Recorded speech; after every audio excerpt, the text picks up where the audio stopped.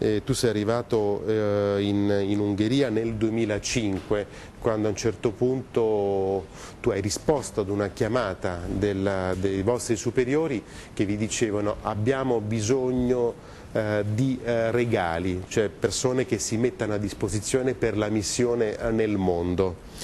E, e sì. lì ti sei ritrovato praticamente a dover, a dover obbedire ad una scelta che era nel tuo cuore. Quale? La vita religiosa o la vita sacerdotale parte da una logica di amore. Quando uno ama qualcosa o ama una persona, vuole essere presente con quella persona. Allora, in, uh, sotto questa logica mi sono messo con tanta gioia ai superiori per andare a qualsiasi missione perché come salesiani noi vogliamo essere sempre tra i giovani più poveri. Eh, questa giornata della memoria oggi da voi come è vissuta?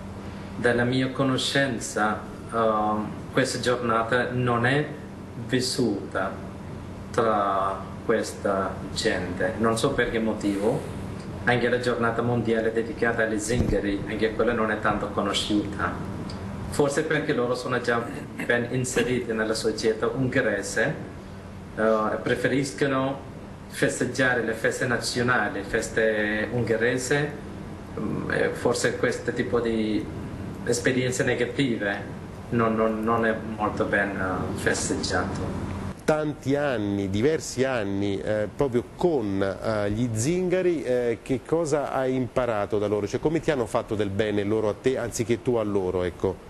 Io sono arrivato in quella missione in 2006, parlavo un po' di ungherese però non tanto bene perché è una lingua abbastanza difficile.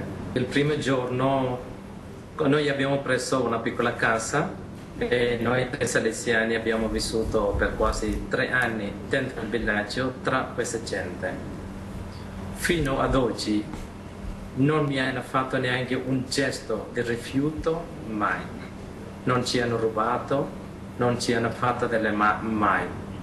Invece il primo giorno quando facevo un giro con alcuni ragazzi dell'oratorio dopo una partita di calcio, sono entrato in una famiglia, c'era anche il ragazzo e sua mamma, una giovane signora di 28 anni, dice al suo marito, guarda, padre Simone, il, la faccia, il colore, tutto come noi, Zingaro e nostro fratello questa era la prima reazione e sempre ho continuato a sperimentare questo tipo di accoglienza da parte di loro. Quindi eh, tu non hai mai avuto paura, mentre eh, quindi hai capito che erano soltanto pregiudizi quelli che avevano altre persone e si può... Eh... tanti sono pregiudizi Dall'altra parte la realtà, la situazione di povertà o di miseria o altri problemi che portano forse alcuni di loro di essere un po' violenti e un po' come si dice senza rispetto verso gli altri. Però invece il momento quando un giovane ragazzo o una famiglia comincia a riconoscere te come un amico cambia tutto. Perché Don Bosco, la metodologia che ci ha lasciato del pre sistema preventivo è proprio ideale per lavorare con loro, perché diceva Don Bosco, fatti essere amati. Per cui ci sono tre passi no? nell'educazione, perché Don Bosco dice l'educazione è una cosa del cuore. Allora, prima cominciare a amare loro.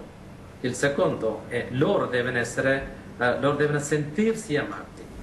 Però alla fine tu devi essere amato da loro, quello più difficile e importante. Molto... Però questa gente subito uh, riconoscono questo, se tu veramente vuoi bene a loro, se no.